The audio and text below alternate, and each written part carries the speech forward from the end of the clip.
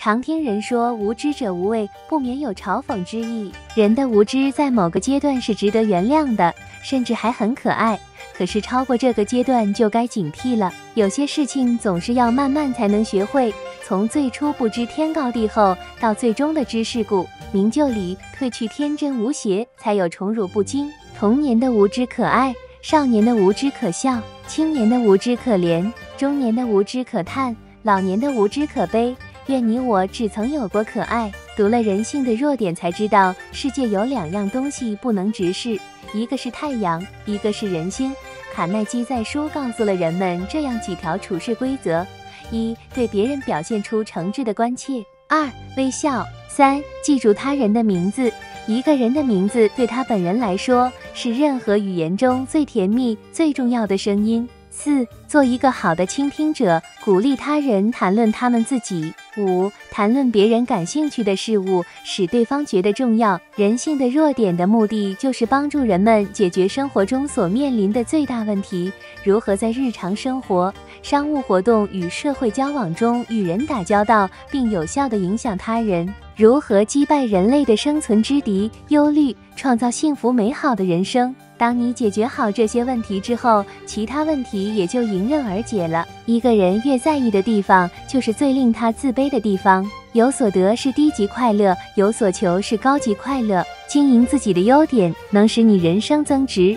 经营你的短处，能使你人生贬值。人性的弱点的成功哲学与处事技巧，对当今时代的年轻人来说，仍是一个永恒的人生课题。下面为大家摘录其精华，教你正确认识自己，如何做最好的自己。和人打交道时，请牢记这一点：人并非理性生物，他们由情感驱使，被偏见支配，傲慢与虚荣是他们的动力之源。你所认为的你，并非真正的你。反倒是你怎么想的，你就会变成什么样的人。感恩是极有教养的产物，你不可能从一般人身上得到。忘记或不会感谢，乃是人的天性。这个世界既不是有钱人的世界，也不是有权人的世界，它是有心人的世界。学习要加，骄傲要减，机会要成，懒惰要除。只有愚蠢的人才会批评人、斥责人和抱怨人，但若要宽恕和了解他人。那就需要在人格及克己上下功夫了。在现代城市的混乱中，只有能保持内心平静的人，才不会变成神经病。憎恨伤不了对方一根汗毛，却把自己的日子弄成了炼狱。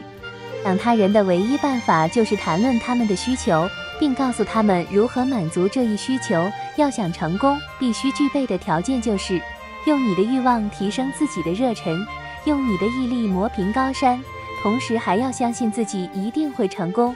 思考时要像一位智者，但讲话时要像一位普通人。我闷闷不乐，因为我缺少一双鞋。直到在街上，我看到别人没了一双脚，努力接近那些了解你、信任你、鼓励你的人。这对于你日后的成功具有莫大的影响。你如果在别人责备你之前就承认错误，对方想要说的话你已替他说了，他就没有话可说。那你有百分之九十九的机会获得他的谅解。人性之中最可悲的一件事，就是我们所有人都拖延着不去生活，都梦想着天边有一座奇妙的玫瑰园，而不能欣赏今天就盛开在我们窗外的玫瑰花。对别人好不是一种责任，它是一种享受，因为它能增进你的健康和快乐。你对别人好的时候，也就是对自己好的时候，保留他人的面子。这是一个何等重要的问题，而我们却很少会考虑到这个问题。纵使别人犯错，而我们是对的，如果没有为别人保留面子，就会毁了一个人。成熟的人会适度的忍耐自己，正如他适度的忍耐别人一样。他不会因自己的一些弱点而感到活得很痛苦。不喜欢自己的人，表现在外的症状之一便是过度自我挑剔。独处对我们的心灵运动十分有益，就好像新鲜空气对我们的身体极有帮助一样。适当程度的自爱对每一个正常人来说都是健康的表现。能够把心中的烦闷向知心朋友倾吐的人，通常既是能够把握快乐、减少疲劳、精力充沛的人。一个不容否认的事实就是，凡是你遇见的人，都会觉得他们在某方面比你强。巧妙地承认对方的重要性，并由衷地表达出来，就会使你得到他的友谊，世界上最好的医生是饮食有度，保持平安愉悦的心情。人生有两项主要目标：第一，拥有你所向往的；第二，享受他们。只有具有智慧的人才能做到第二点。人们真正关心的只有自己，这一点永远不会变，无论今天还是明天，无论现在还是未来。如果我们是那样的卑贱和自私，一旦没有从他人身上得到好处，就不愿意让别人感到快乐。假如我们的气量比一个酸苹果还要小，那我们所要遭遇到的绝对是失败，而且我们的心灵将会变得无比贫瘠。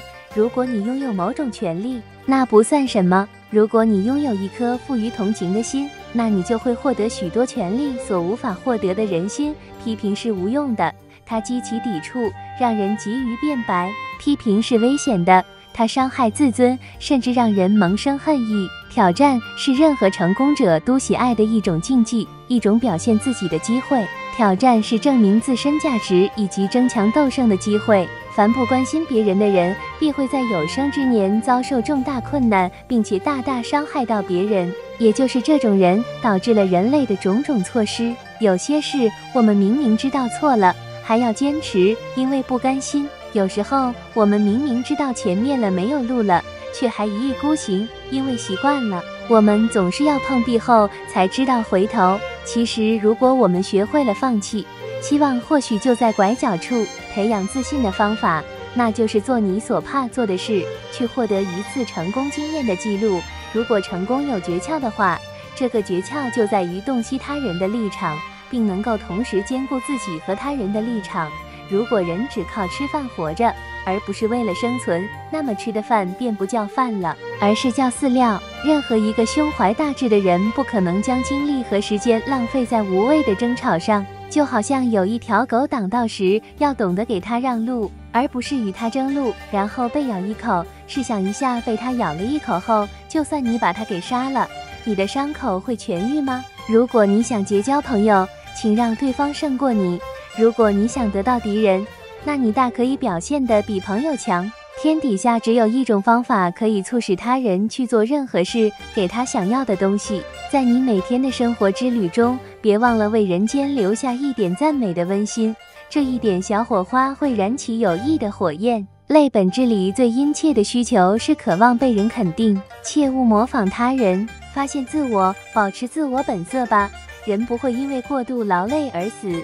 却会放荡和忧烦而去。没有人能永远按照事情的轻重程度去做事，但按部就班的做事总比想到什么就做什么要好得多。不要忘记，快乐并非取决于你是什么人或你拥有什么你，它完全来自于你的思想。你所认为的，并非真正的你，反倒是你怎么想，你就是什么样的人。寻求快乐的唯一途径是不要期望他人感恩。付出是一种享受施予的快乐。在社会上，只有多了解人性，才能不被有心人利用人性，才能更好的适应社会。了解人性，就是对自己的负责，更是对自己的保护，从而能有所长进，取得成功。